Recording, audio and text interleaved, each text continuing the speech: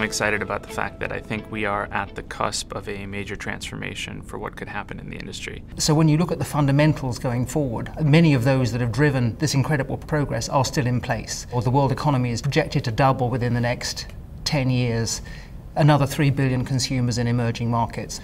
Secondly, you've got demographics. I mean, the, the, the, global society has never been older than it is now. You then add to that, of course, massive unmet need uh, which is still remaining despite the incredible progress on multiple fronts. A few of the specific things that I see coming together uniquely now, you know, one is just technology and innovation. Uh, the rate at which new medicines are being approved is finally starting to change. We're seeing a slight inflection point on that.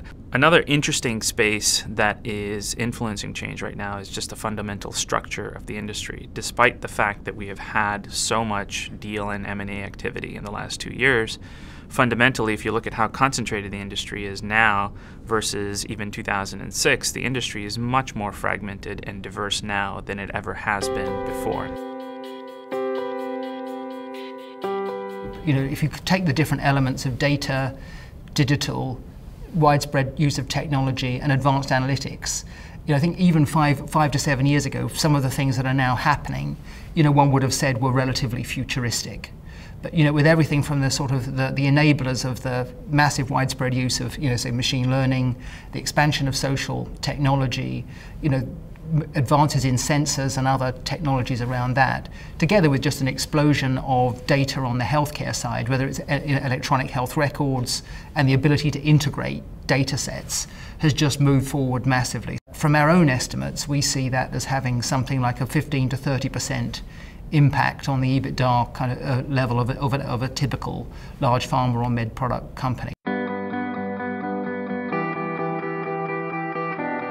In my view, I think we're entering into an era where this is going to largely be about making choices. There are choices on distinctiveness and where companies want to differentiate themselves.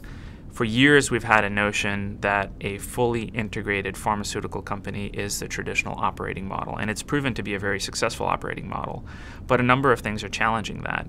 Can any individual company truly be the best discoverer of medicines, the best to take them through clinic, the best to manufacture them at scale at a reasonable cost, the best to convey the value proposition of these medicines to payers, to providers, to patients, then I believe companies are going to have to make discrete choices on which parts of the value chain they think they can be distinctive at and can make a meaningful impact to patients and to the industry. The ecosystem now around getting, getting your, drug to the right patient at the right time at a price that's both you know, fair to you and, and, and works for the system is now incredibly uh, complex uh, with everything, as we know, from health technology assessments to real world evidence to just a whole range of stakeholders whose agendas we need to have far better insights on uh, than we've ever had before. And I think that's challenging even on a day to day level. Companies are also going to think about, have to think about, what are their collaborations and their partnerships with other stakeholders, how companies manage through that complexity, and how they build a set of contracts and partnerships, both formal and informal, with an ever increasing complex web of stakeholders, I think is going to define the winners from the losers.